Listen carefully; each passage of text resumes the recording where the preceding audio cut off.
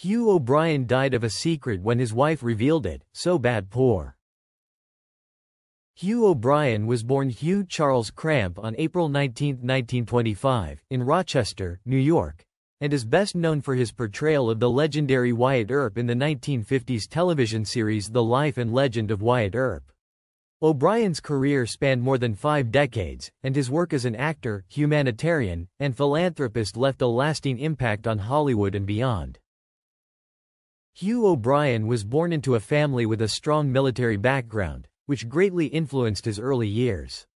His father was an officer in the U.S. Marine Corps, and young Hugh followed in his father's footsteps, eventually enlisting in the Marine Corps himself. Before joining the military, O'Brian attended New Trier High School in Winnetka, Illinois, and later enrolled at the University of Cincinnati, intending to study law. However, World War II altered his trajectory when he enlisted in the Marine Corps at the age of 17, becoming one of the youngest drill instructors in the history of the Marines. After the war, O'Brian returned to civilian life, but his plans to pursue law shifted dramatically when he discovered a passion for acting. While visiting Los Angeles, he was invited to watch a play rehearsal, and from that moment, he became captivated by the world of theater. Soon after, he decided to pursue acting full-time, taking the stage name Hugh O'Brian. Hollywood Breakthrough and the Life and Legend of Wyatt Earp O'Brian's early years in Hollywood were filled with small roles in film and television, but his breakthrough came in 1955 when he was cast as the titular character in The Life and Legend of Wyatt Earp. The series was one of television's first adult westerns and ran for six seasons from 1955 to 1961.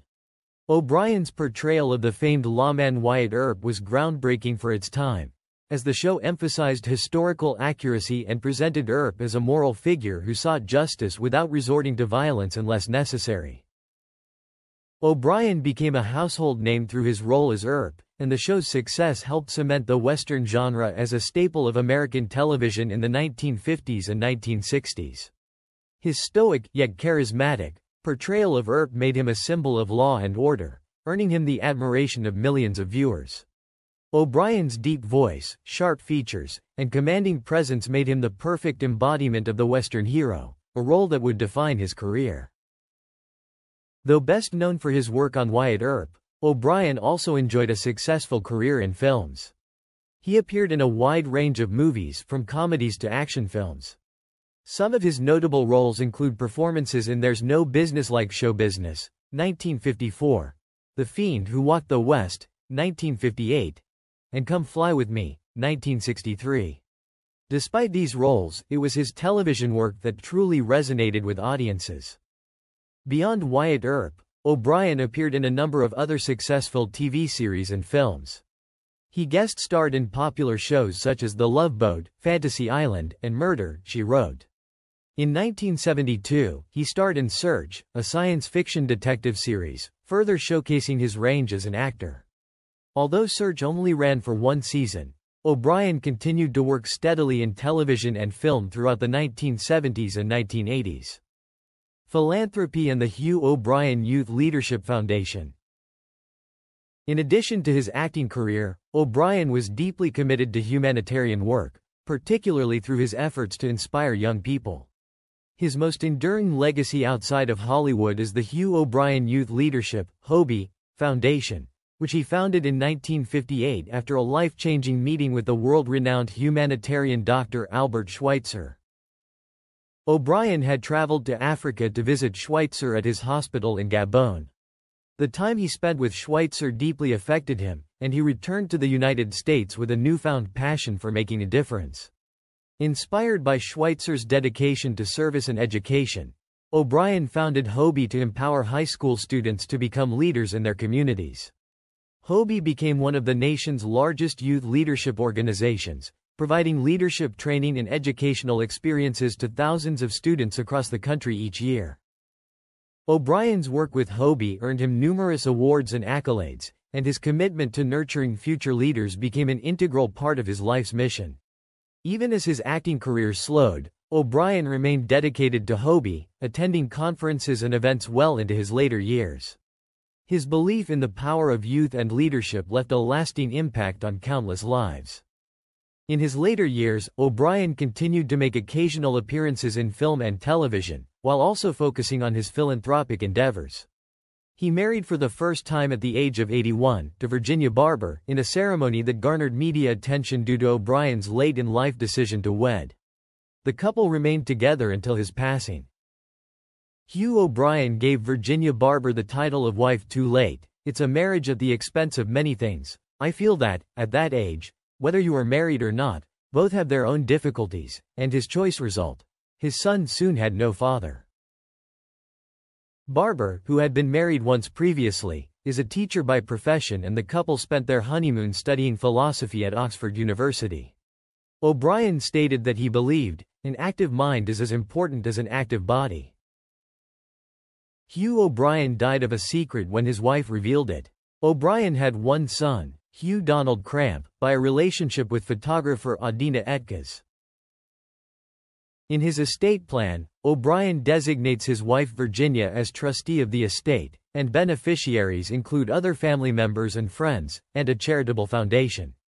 O'Brian died childless, however, after his death, at least two individuals filed lawsuits claiming to be O'Brian's children and demanding a division of his estate. The revelation that O'Brian may have fathered children outside of his marriage was further complicated when at least two individuals filed lawsuits after his death, each claiming to be one of his biological children. These claimants, who were born to different mothers, asserted that O'Brian had engaged in relationships with their mothers and that they had a right to a portion of his estate. Each of the alleged children provided different types of evidence in their lawsuits, including testimony, letters, and photographs, in an attempt to prove their connection to the late actor. One of the claimants claimed that O'Brian had been in a relationship with her mother during the 1960s and that her mother had become pregnant with O'Brian's child. According to this claimant, when O'Brian found out about the pregnancy, he urged her mother to terminate it and even provided financial support for the procedure. Despite this, the pregnancy continued, and the child was born and raised without O'Brian's involvement. After O'Brian's death, the claimant sought to establish her status as his biological child, even offering to undergo DNA testing to prove the connection. Another individual, also claiming to be O'Brian's child, presented different evidence in her lawsuit, including testimony from her mother and documents that allegedly linked her to the actor. Like the first claimant, she was willing to take a DNA test to support her claim. These claims, if proven, could have entitled the alleged children to a share of O'Brian's estate, sparking a fierce legal battle over the division of his assets. The lawsuits brought by O'Brian's alleged children hinged on the legal concept of missed children. Individuals who were not named in the estate plan but who, if they could prove their biological connection to O'Brian, would be entitled to the same inheritance as a child named in the will. Under California law, biological children who were not known or acknowledged at the time of a parent's death can still seek a portion of the estate if they can establish their paternity or maternity. The alleged children of Hugh O'Brian argued that they had been missed in his estate plan and that they were entitled to a share of the wealth he had left behind. Their legal claims raised difficult questions about the actor's private life and forced his estate, particularly his widow Virginia, to navigate a complex legal landscape. The claimant's willingness to take DNA tests added further intrigue to the situation, as their potential biological connection to O'Brian could dramatically alter the distribution of his estate. For Virginia Barber, O'Brian's widow and the executor of his estate, the legal battles with the alleged children placed her in an emotionally taxing and legally challenging situation. Having been married to O'Brian for 10 years and knowing him for much longer, Virginia had a deep connection to her late husband and his legacy. The emergence of these claims from people who had never been part of O'Brian's public life was a bitter pill to swallow, as they threatened to unravel the carefully managed estate and sully O'Brian's memory. In addition to the emotional toll, the legal battles were expensive and time-consuming, drawing out the probate process and potentially delaying the disbursement of the estate to legitimate beneficiaries, including the Hugh O'Brian Youth Leadership Foundation. Virginia was left to handle the fallout from these posthumous revelations, tasked with defending O'Brian's estate while maintaining the charitable work he had been so passionate about. Hugh O'Brian passed away on September 5, 2016, at the age of 91. His death marked the end of an era for many who had grown up watching him as Wyatt Earp, and tributes poured in from across the entertainment industry and the philanthropic world. He was remembered not only as a talented actor but as a man who dedicated much of his life to serving others.